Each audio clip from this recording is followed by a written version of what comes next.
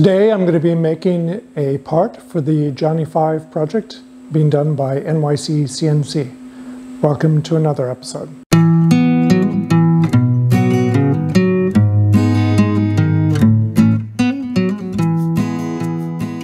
A little while ago I noticed a post on Instagram from Saunders Machine Works, John Saunders, asking for volunteers to help make parts for the Johnny 5 robot that they're building you can find more information in the link below.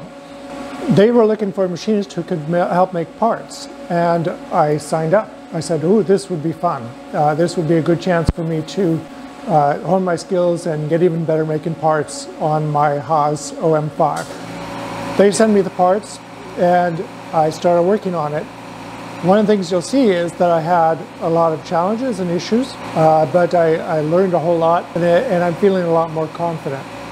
So let's take a look at the issues I ran into. The first thing I ran into is that I was trying to do a Titans of CNC. In other words, I was trying to get maximum uh, material removal rate. Now, this machine uses uh, ISO 20 tool holders. They're pretty small tool holders. And it uses ER16 collets. I do have one tool holder for ER20 but all of my other tool holders that came with the machine are ER16. So ER16 doesn't have as much holding power as ER20 would be. And the other thing is that I was using an Aluma, Alumapower carbide end mill, which seems like it's fairly slick, so it comes out easier than I would have expected. So the first thing I did is I got some material that was three quarters of an inch thick by one inch. Now this part is uh, 0.625 inches thick, I believe. When I cut the part and put it in the vise, I thought, hmm, that looks like it's uh, kind of low and there might be an issue here. So I measured it and discovered that, yes, in fact, it was sitting down about 0.15 inches from the top of the vise, and therefore I didn't have clearance to mill all the way around the part. Now at that point I got distracted and came back and for some reason uh, I pressed the cycle start button and let's take a look at what happened.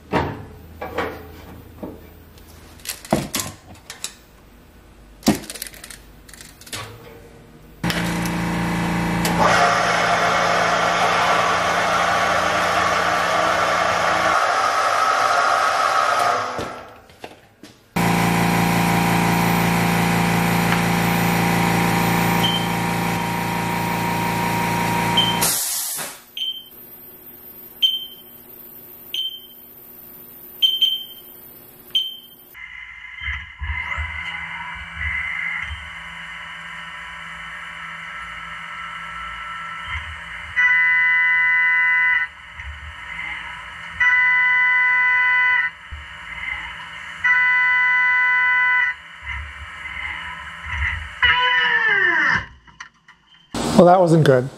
Uh, fortunately, this is a fairly cheap vise. Uh, I'm thinking about buying a better vise. I marred up the vise. I destroyed the end mill.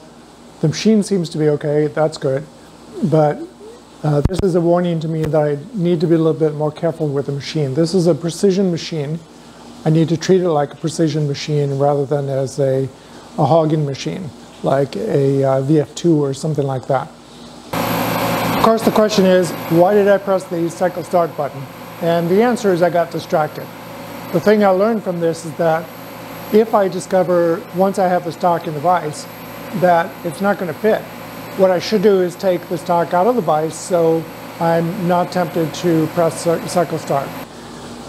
All right, next thing I did is I ordered some uh, material that was thicker. So I went with, I think it was uh, one inch by 1.5 inches, something like that.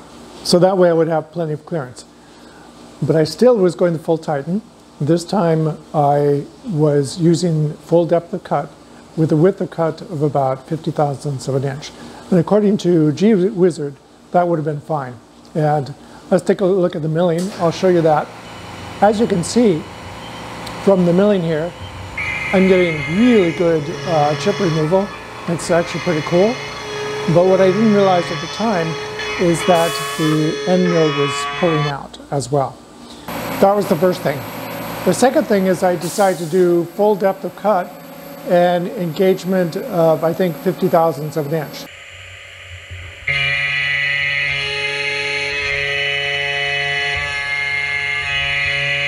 I measured the tool afterwards as a result of looking at the part and discovering that the part was out of specs.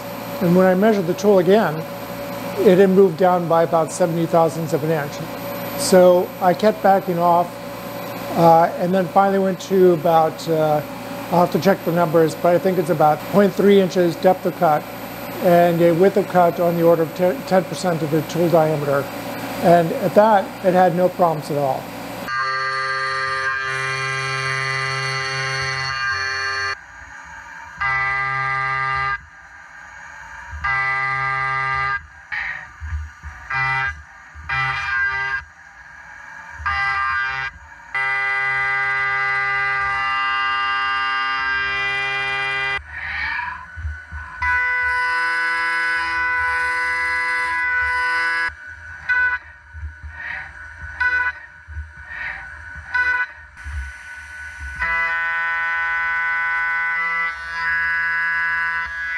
This is a 1 8 inch end mill at 15,000 RPM doing slotting.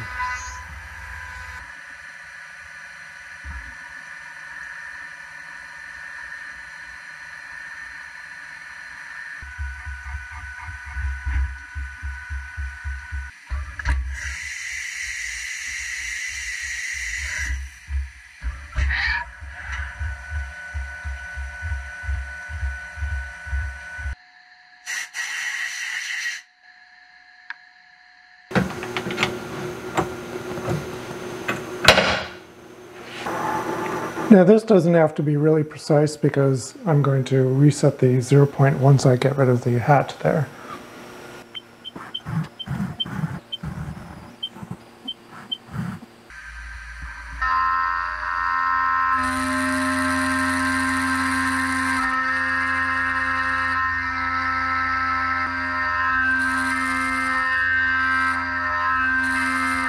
For the next operation I have the uh, X and Y set to Z here. So I'm going to put the Haimer in and uh, reset the uh, zero point.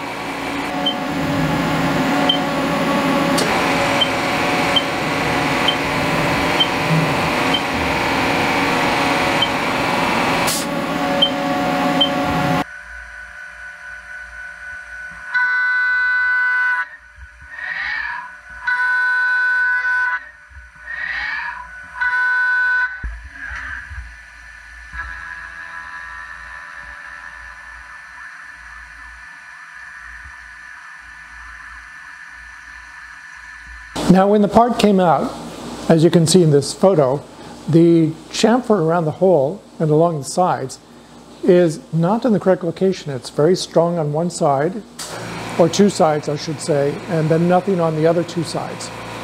Uh, I did some measurements to discover that the slot, uh, the long slot, was not in the correct position either, and it was off by roughly 20 thousandths of an inch. And I thought for the longest time trying to figure out what could happen. And then it dawned on me, which is maybe I had the wrong Haimer tip. So I checked the Haimer tip. In fact, I checked the box, and uh, as you can see here, this is the wrong part number. This is the part number, let me get it to focus again. This is the part number for the four millimeter diameter tip. So I ordered the wrong tips. And because I ordered the wrong tips, it meant that when I was picking up the back left corner or the back right corner, whichever, I was off by a little bit more than 20 thousandths of an inch. So that explains the problem. I've ordered a new tip, but in the meantime, I'm going to make hopefully the last version of the part. And this time what I'm going to do is I'm actually going to pick up the two sides, so like the left side and the right side, and then I'm going to add them together and divide by 2 to get the middle position, which is what I'll use for the G54 offsets for X and Y. And that will basically compensate for, average out the difference between the two sides. So it won't matter that I have the right tip, it'll still come out with the exact correct coordinate. So I'm going to go and uh, cut another piece of material, add to the machine, mill everything up, and then I'll bring it back when I get to indicating the center position and setting up center. So the uh, first side is done, and what I'll do is I'll just take it out of the vise, and then I'm going to flip it over. And what I need to do before I flip it over is check my screen to see what the coordinate systems are for the next side. So I'm going to click on the, uh, the top cap and uh, then flip it over so that I've got X heading this way and Y is that way. And so that tells me that the coordinate system I want is the back right. Okay, I'm looking at my computer screen to see where this hole needs to be.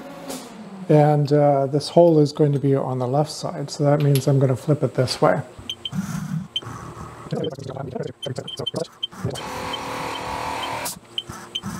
Alright, what I'm going to do now is pick up the left side, uh, set this to G54, pick up the right side, and set this to uh, G55, and then uh, add and divide those by 2 to get the center point. And then over here I'll press the offset to get to the offset page here. And I want X right there for G54 and I'll press part 0. So now I've got G54 there. I'll head down to G55 and then go back and uh, pick up the right side.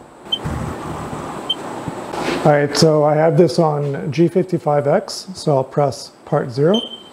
And now I have those two numbers. I'll pull out my calculator and what I'm going to do is take the first one, 9.1256, and then I'll add 7.1007, divide by 2, and that's the number that I need to put in there. So it's uh, negative 8.11 3, and it's a 5, so I'll round up to 2. So I've got 8 minus 8.1132. And what I'm going to do is go up to the G54X and press F1 and then Y. And now I've got the number in here, 8.1132. So that means I've got the center set up. And I'm going to do the same thing for Y, and then we'll come back and do some milling.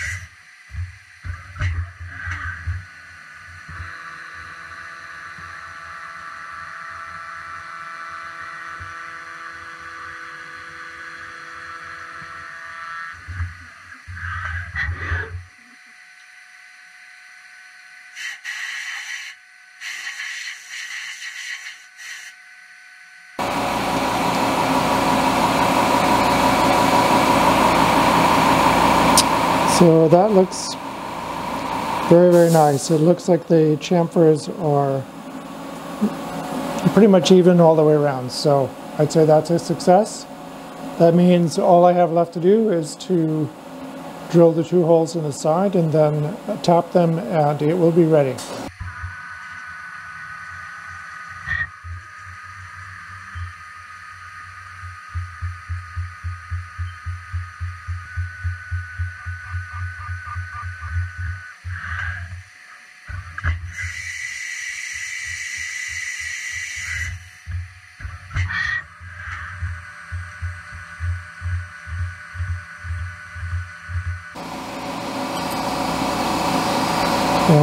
As you can see,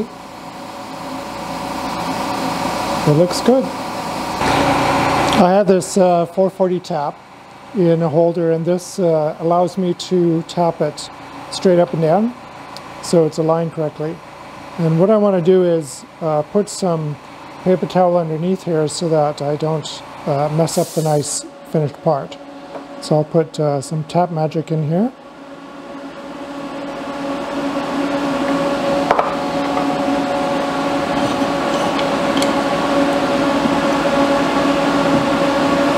And get started.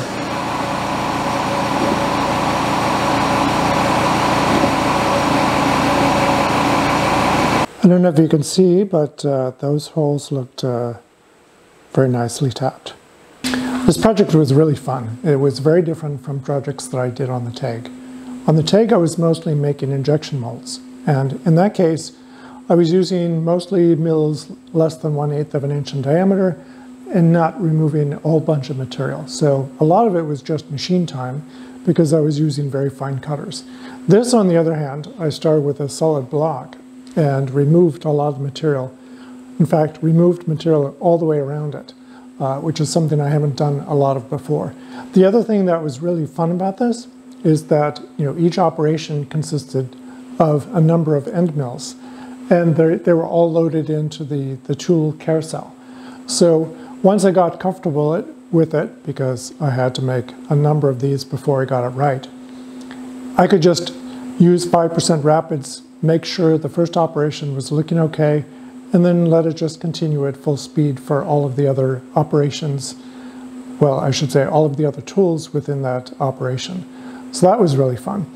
Uh, this I did in four operations, as you saw, and uh, I'm really pleased with how it turned out. I hope you enjoyed this episode. Please give me a thumbs up, subscribe, comment below, and I'll see you next time.